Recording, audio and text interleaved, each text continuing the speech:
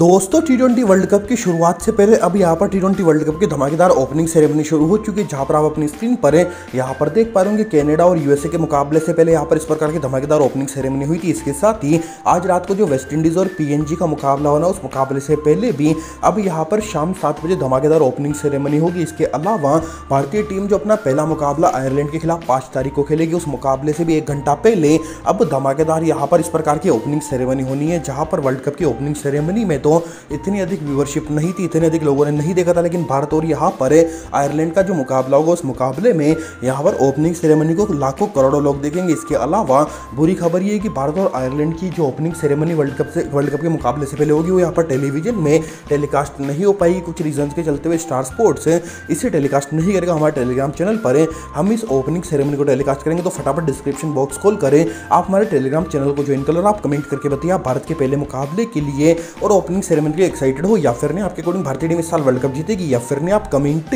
जरूर करें